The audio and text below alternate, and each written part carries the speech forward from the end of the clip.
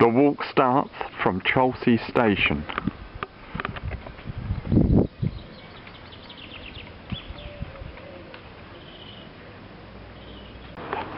Now entering the first footpath of the walk.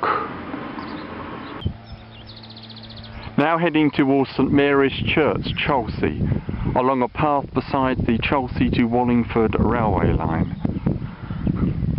This closed to passenger traffic in 1959 and to all traffic in 1981. It now runs steam services as a preserved line at certain times throughout the year.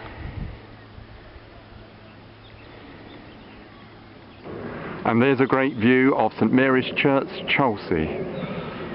It was founded over a thousand years ago, but largely rebuilt in the 12th century and again restored in the 19th century.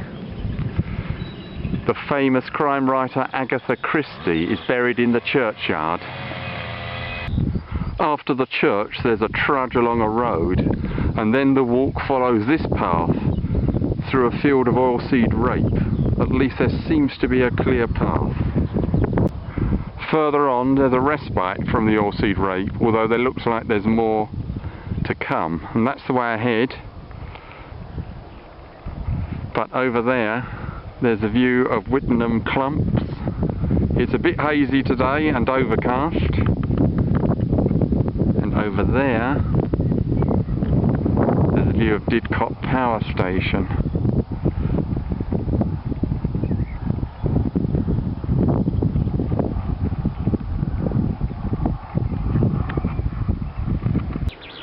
The walk heads along this field edge. The walk goes through this tunnel under the main London South Wales Railway.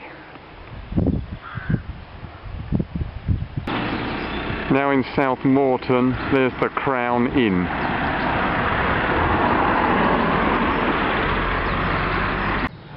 St John the Baptist Church, South Moreton. The church dates from mostly the 13th and 14th centuries.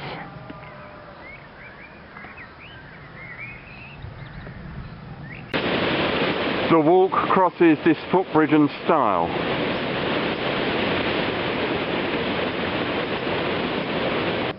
And now there's a much better view of St John the Baptist Church, South Moreton. It's become a bit clearer and there are some reasonable views over to my left. As you can see there's another rape field to my left. And that's the way ahead beside the stream. The path crosses this narrow field. The walk crosses this footbridge over Hill Brook. I'm now heading for East Hagbourne village. Now following a clear bridleway heading towards East Hagbourne. And there's the War Memorial and the stump of a medieval cross called Lower Cross at East Hagbourne. And that's the sign with the village name on. The Fleur de Lis pub, East Hagbourne.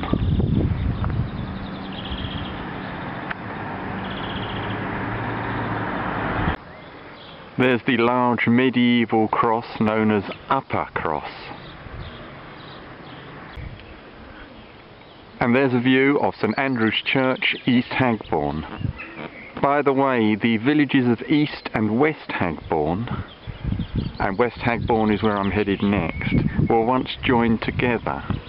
But all the houses between this church and West Hagbourne were destroyed in the Great Fire of Hagbourne in 1659. Another great view of St Andrew's Church, East Hagbourne.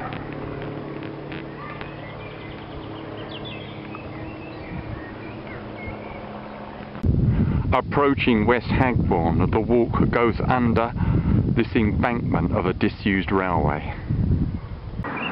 West Hagbourne Village Pond, covered in algae.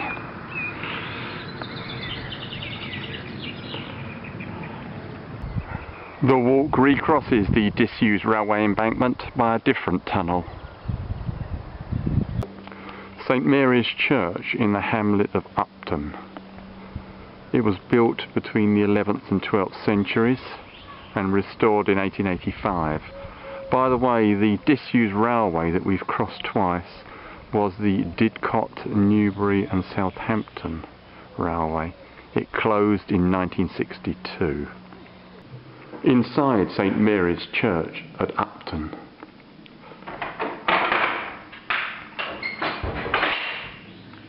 Do you want any lights? No, it's alright, thanks. And now heading towards the village of Blewbury.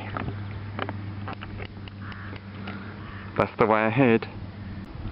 Further along the path, decent views open up ahead. And that's the way ahead towards Blewbury village. Now in Blewbury village, here's St Michael's Church, which has Saxon origins, but, but was rebuilt in the 11th century. Blewbury was once home to Kenneth Grahame, author of Wind in the Willows. Inside St Michael's Church, Blewbury.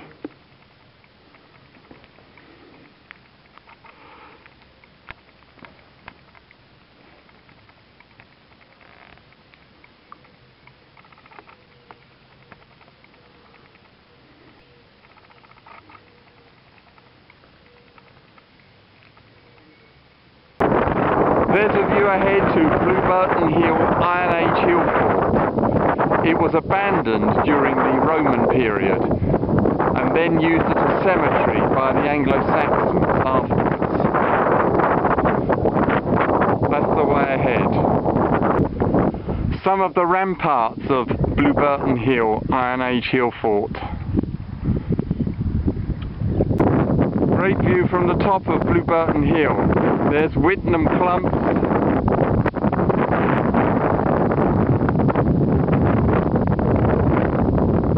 Didcot Power Station.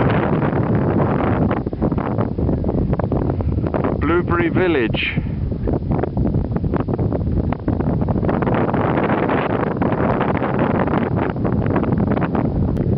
Now heading towards the village of Aston Upthorpe with great views ahead. Can I remind you that today is the date of the general election in Britain?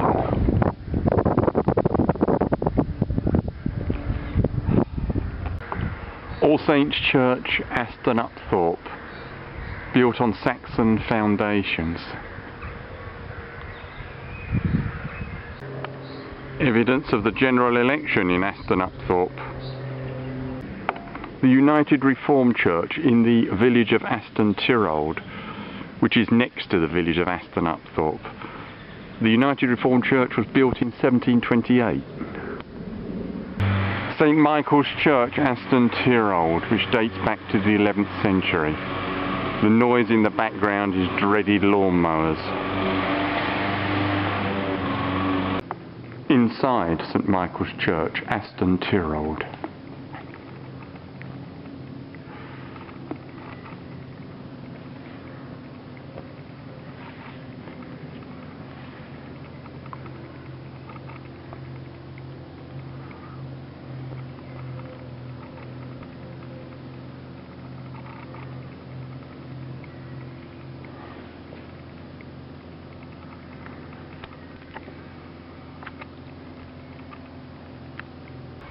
Now on the final leg, back to Cholsey.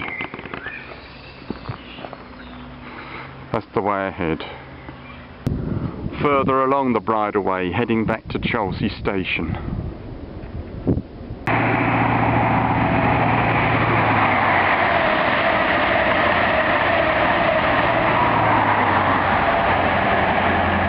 And now back at Cholsey station and the end of today's walk.